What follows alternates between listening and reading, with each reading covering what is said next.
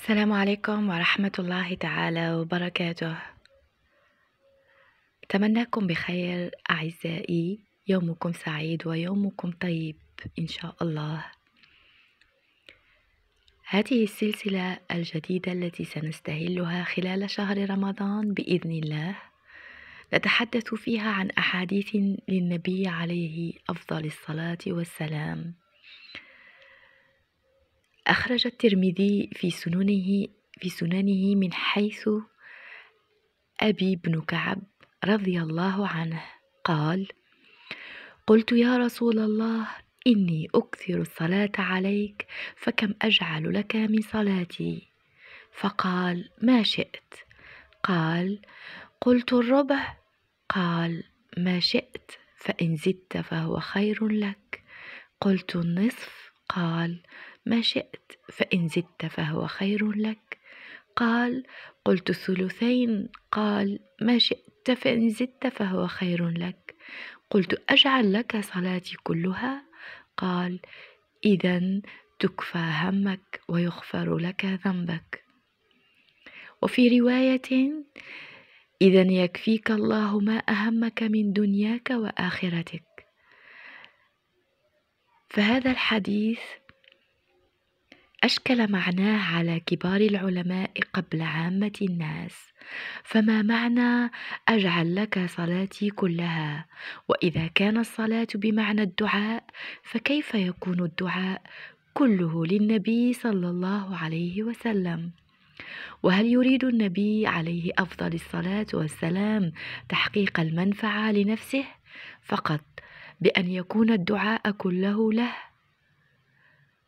ولهذا اهتم علماء الحديث فبحثوا في أسانيده وطرقه اولا. فالقاعدة تقتضي أن تثبت أن تثبت العرش أولا ثم تنقش بعد ذلك. وقد حسنوا الحديث بمجموع طرقه. وقال فيه الحاكم هذا حديث صحيح الإسناد. وأما من حيث المعنى فاتفقوا على دلالته على فضل الصلاة على النبي عليه أفضل الصلاة والسلام وعظيم الثواب المترتب عليها. فمقصود السائل يا رسول الله إني لي دعاء أدعو به وأستجلب به الخير وأستدفع به الشر فكم أجعل لك من الدعاء قال ما شئت فلما انتهى إلى قوله أجعل لك صلاتي كلها؟ قال إذا تكفى همك ويغفر ذنبك. أما إذا يكفيك الله ما أهمك من أمر دنياك وآخرتك وهذا غاية ما يدعو به الإنسان لنفسه من جلب الخيرات ودفع المضرات. قال ابن القيم في جلاء الأفهام صفحة سبع تسعة وسبعون وسئل شيخنا أبو العباس عن تفسير هذا الحديث فقال كان لأبي بن كعب دعاء يدعو به لنفسه فسأل النبي صلى الله عليه وسلم هل يجعل له منه ربعه صلاة عليه؟ فقال إن زئت فهو خير لك. فقال له النصف فقال إن زدت فهو خير لك. إلى أن قال أجعل لك صلاتي كلها أي أجعل دعائي كله صلاة عليك. قال إذا تكفي همك ويغفر لك ذنبك لأن من صلى على النبي صلى الله عليه وسلم بها عشر عليه بها عشرا ومن صلى عليه كفاه همه وغفر له ذنبه. فأي فوائد أعظم من هذه الفوائد؟ ومتى يظفر المتعبد بمثلها فضلا عن أنفس منها؟ فمن شغله في الحديث القدسي من شغله ذكري عن مسألتي أعطيته أفضل ما أعطي السائلين. ففي الحقيقة لم يفت بذلك الصرف شيء على المصلي بل حصل له بتعرضه بذلك الثناء الأعظم أفضل ما كان يدعو به لنفسه. وحصل له مع ذلك صلاة الله وملائكته عليه عشرا أو سبعين أو ألفا كما جاء بذلك روايات مع ما انضم لذلك من الثواب الذي لا يوازيه ثواب.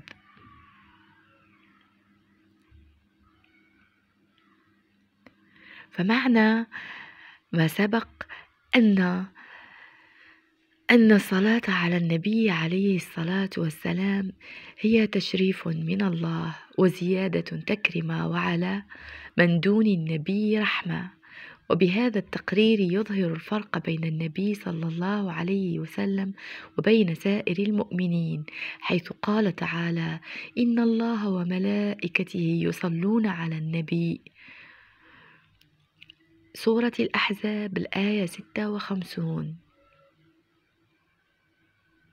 وقد روى إسماعيل بن إسحاق في كتاب أحكام القرآن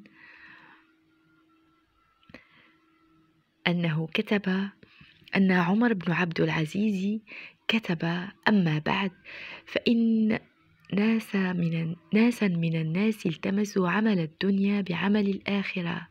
وإن ناسا من القصاص أحدثوا في الصلاة على خلفائهم وأمرائهم عدل الصلاة على النبي.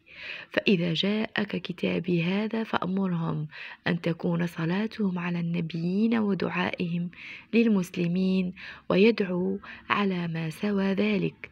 ثم أخرج عن ابن عباس بإسناد صحيح. قال لا تصلح الصلاة على أحد إلا على النبي صلى الله عليه وسلم ولكن للمسلمين والمسلمات الاستغفار. وذكر أبو ذر أن الأمر بالصلاة على النبي صلى الله عليه وسلم كان في السنة الثانية من الهجرة وقيل من ليلة الإسراء. أفلا يتدبرون القرآن أم على قلوب أقفالها؟